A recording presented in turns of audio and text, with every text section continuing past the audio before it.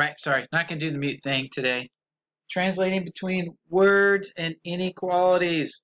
Okay, so we're going to do some reading math today.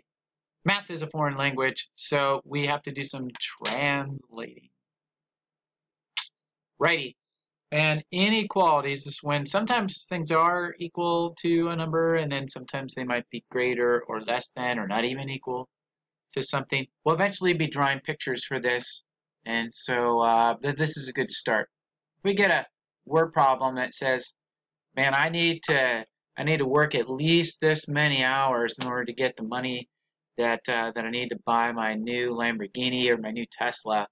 Um, I might just draw it out in uh, in math terms. Be a good way to plug it into a spreadsheet or or into something that you're trying to plan out and that can split it up for you. And so let's just start with some stuff that you can write down in your notebook that you can go back and look at if you get stuck on uh, on what some of these things mean. Um, I'm going to start with this that typically I'm going to want the value x, the mystery thing, to be on the left side of uh, the inequality. These are all inequalities. They're all things that are not just equal to some other value. So like, let's just pick the number 2. Okay? And just like we've been talking about before, and when we do mental math, we want to do as much of that from left to right as possible, the same way that we read a sentence. So this expression here means that x is less than 2. Okay? X is less than 2. So what we're going to want to do is we're going to put, want to put in the translation here. X less than, and I just picked a number, but it could be any number, some number, n. Let's just call it n from now, for right now. X less than some number n. This one here means greater than And I think you've heard before about like this like alligator and he wants to eat the big thing, so he's pointing that direction. Um, it's going to end up being really handy for us to put the X on this side. This will help us draw our picture when we get there. This would mean less than or equal to.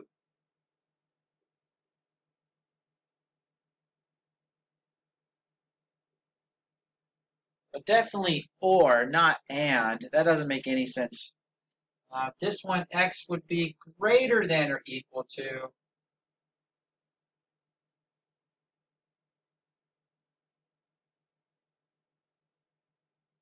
And the last one is x is not equal to. It might be less than, it might be greater than, but it's definitely not that value that you've plugged in. So definitely this better be in your notebook. Hit pause, write it down. Okay? It's not hard. Go back 10 seconds. Write it down. But there you go. That's how we're going to begin by translating these word problems with inequalities into mathematical expressions that we can then eventually that we'll evaluate or simplify. I'm going to clear the board and then we'll move on to some of the examples. Okay, here's our first one. Job here is to translate. That means we're going to turn it in into math. Okay, just some symbols and numbers and letters and stuff. And what I typically do starting off for these things, got to write the whole thing out and then we're going to circle stuff. We're going to try to dice this sentence up like we're doing um, diagramming sentences. Kind of very, very much the same idea here with math. Find out what pieces here mean what. We got to get to the meaning of these things. So we start off with this first word here, quotient. And we got to go back up some lessons and we can say, well, what's, what's a quotient? Well, quotient is the answer to a division problem. So right away, I'm going to just start putting in what are some of the symbols that are going to get used. Quotient means there's going to be division. And then we have of a number, but not just a number, a number and two. So there we go. A number and two is something, and I might translate that as n or x, whatever I want, and it's uh, a quotient. So a number and 2 the quotient of a number and 2. That would be n divided by 2. Okay? We got the word here is from a previous lesson. We said that is means equals. And then here's one of our inequality expressions. Less than or equal to. Less than or equal to. So we've got, we've got some number. Let's call it oh, I guess we call it n, right? Quotient of a number and 2, n over 2, is equal to something that's less than or equal to. So we got less than or equal to. And then there's our there's our thing that we're looking for, our value, 6. So there we go. Just start dicing it up into pieces. Find the pieces that go together. Quotient says division, fraction, okay? A number and 2. Okay, there's our quotient, n over 2, and then uh, our inequality less than or equal to, and 6. So once we get here, then we can go ahead and do the math on it if we wanted to. Right now, I think they're just asking you to be able to write it. But if I want to know what that number is, I got to get this 2 to the other side. And so I'm going to multiply both sides by 2. That number has to be less than or equal to 12 for this to be true.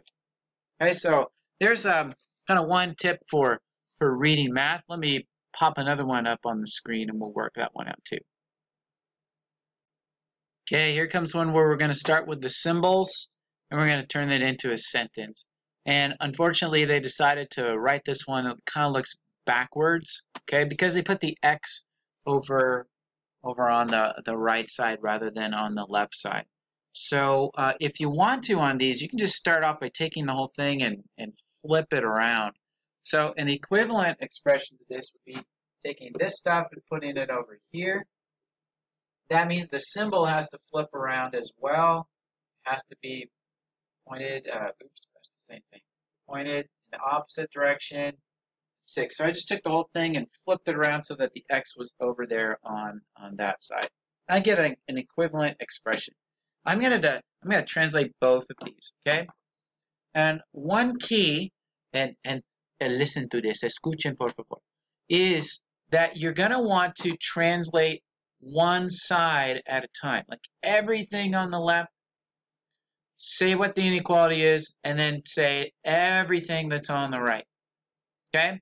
Sometimes people, it gets kind of clunky if you don't consider the left side, and the right side um, separately, but as a whole chunk, the right side being a whole chunk. Okay, so this first one, we would just say 6. And then what's this right here? All right? 6 is greater than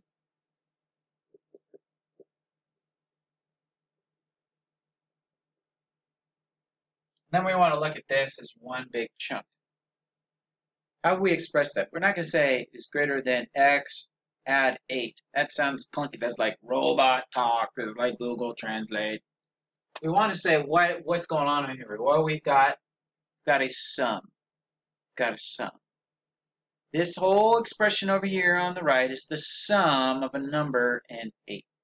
That would be the most uh, nice off the tongue kind of way of expressing it. Is greater than the sum of a number and 8 or of x and 8, or x and 8 added together. You can say it in lots of different ways. But to me, that's the best way. Look for that operation and say, well, that's what ties those things together. Let's talk about what we're looking for. The last one said quotient. That meant a fraction. Okay, so we're going to look for for uh, like the uh, the answer to a, to a problem, and that would be sum. So if we want to turn that around, we would still treat this whole side as one thing. And we just start this way. We'd say the sum of a number and 8. That and tells me that it's, it's a sum. Now, now the symbol is, is less than.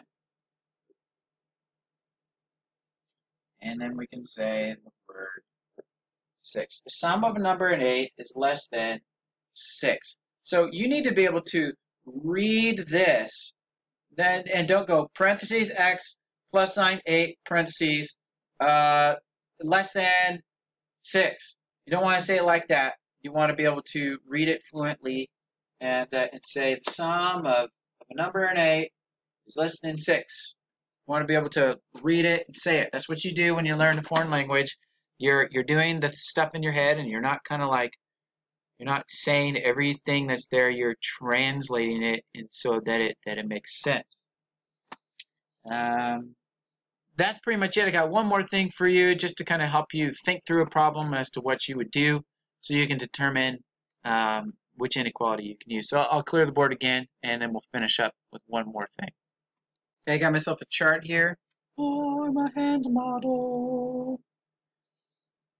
Where I'm just going to change this little expression right here and we're going to evaluate uh, 2. We're going to evaluate the expression uh, x is blah, blah, blah 2 and then write the inequality that, that fits. Okay, so that's our little game today.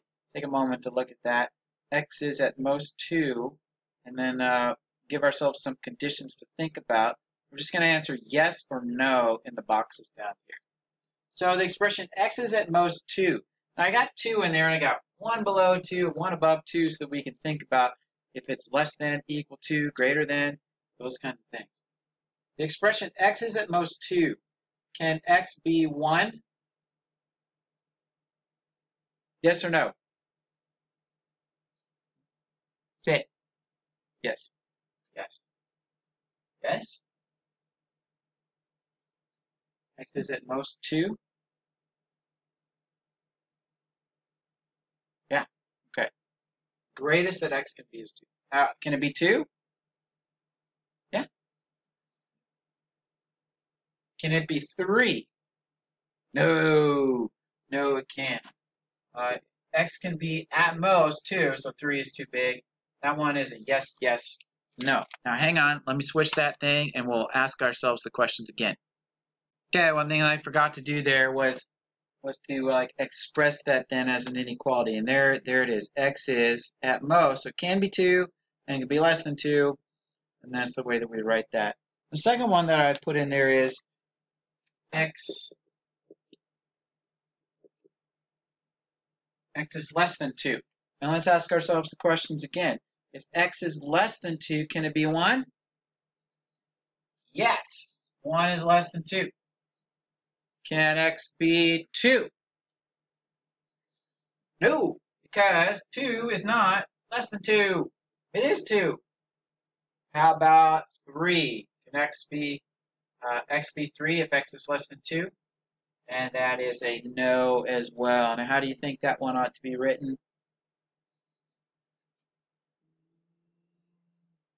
X is less than 2. Okay, here comes the next one. 5, 4, 3, 2, 1, 0. Switched it already. Okay, this time it's x is at least 2 x is at least 2. Can x be 1? Is 1 at least 2? No.